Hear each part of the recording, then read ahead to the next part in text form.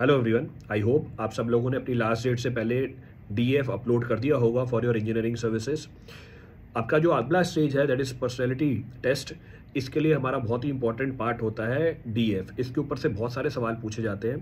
And to help you aspirants इसके लिए dedicated मैंने सीरीज़ चला रखी है जिसमें आपके पर्सनलाइज डीएफ के हिसाब से जो जो सवाल पूछे जा सकते हैं, वो मैं आपको फ्रेम करके दे रहा हूँ।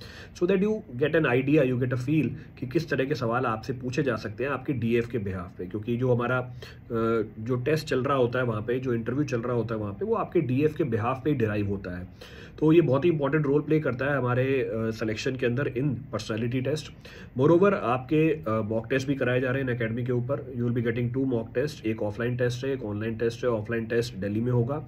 So you can enrol for this interview guidance programme classes भी हैं इसके अंदर technical non technical the entire programme is at negligible cost registration fees है ओनली नाइन्टी नाइन रुपीज़ की. You can enroll for this particular course और this particular programme and excel in your engineering services examination so i hope uh, you have already joined this particular program and till then let's crack it